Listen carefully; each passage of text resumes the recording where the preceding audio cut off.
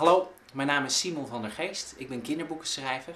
En eh, voor de virtuele vitrine wilde ik graag mijn eerste schrijfschriftje voordragen. Dit is hem. Eh, dit schriftje eh, is het, het eerste schriftje ik, waarin ik de dingen ben gaan opschrijven die me opvielen en die ik bijzonder vond. Een chameleon in de woestijn is geel. Een chameleon in de- in de jungle is groen. Maar wat voor kleur is een chameleon tussen de chameleons? Eh, het was eigenlijk een opdracht van eh, de toneelschool waar ik op dat moment op zat. En eh, zij hebben me geleerd om op een andere manier naar de werkelijkheid te kijken. Op, een, op een manier waarin je probeert de schoonheid en de lelijkheid en de, de wereld als een kunstenaar te aanschouwen.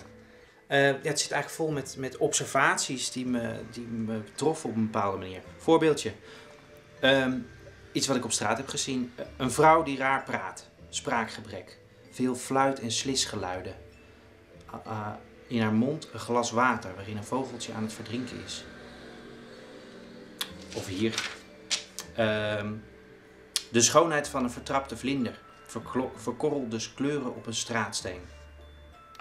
Nou, ik kijk er nog wel eens vaak in terug. Omdat het toch eh, die eerste dingen vaak heel bijzonder zijn wat je dan eh, op is gevallen. Ik was toen 19.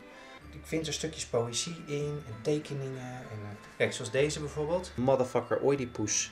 Een kleine ja, opmerking, gedachte, ik weet niet precies. Maar er blijkt dus uit dat ik toen al bezig was met het eh, bewerken van klassiekers. Ik mag heel graag Griekse mythen of sprookjes of Noorse zagen of weet ik veel wat gebruiken voor mijn verhalen. Wat ik bijvoorbeeld ook heb gedaan met eh Disses, het boek wat bekroond is met de Gouden Griffel. Eh, dat is een bewerking van de Odyssee. Ja, soms speel je met ja, wat, je, wat je ziet.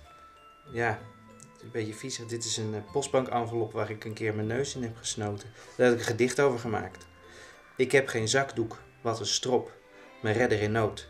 De postbank-envelop. Omdat met dit schrift eigenlijk mijn schrijverschap is begonnen, zou ik het graag willen voordragen voor de virtuele vitrine.